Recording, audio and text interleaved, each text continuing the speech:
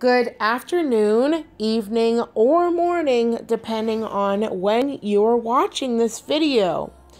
I hope everyone is having a magnificent day so far, and if you aren't, then I will encourage you to write down 10 things you are thankful for and say them out loud. Repeat them several times because it will really help you if you are feeling down.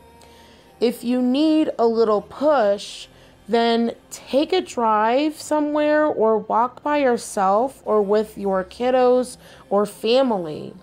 Go on a different route that you don't normally go on that would stimulate your brain. You will be so amazed at how much better your mental state is after doing this.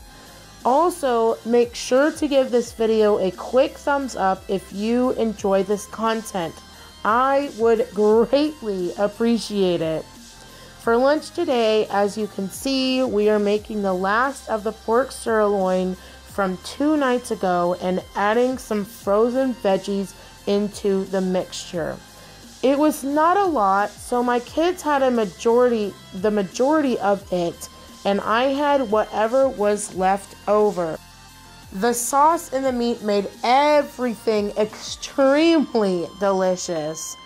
When I have any leftovers, I sometimes like to make an entire new meal out of it so I'm not having the same exact things over and over.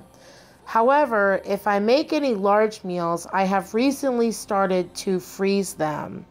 And I am freezing them because I want to steer away from buying pre made meals if I can. Although sometimes it is nice to have that option available if I just want to have a lazy night.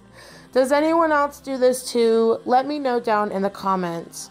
As you can see, I am also doing some dishes from yesterday and this morning to pass the time while I wait for the meals to cook. Personally, I don't care for cooking and cleaning at the same time, but I am trying to be more efficient this year, which means I gotta multitask at times. Sometimes it's all good and dandy, while other times it gets a bit frustrating. But hey, I'm learning. Anyways, I would love to know what kind of meals you like to make for lunch and dinner, and if there's anything you would like to see me make, feel free to suggest it. Just don't suggest anything that deals with baking because that is most definitely not my specialty. Have a wonderful day, everyone.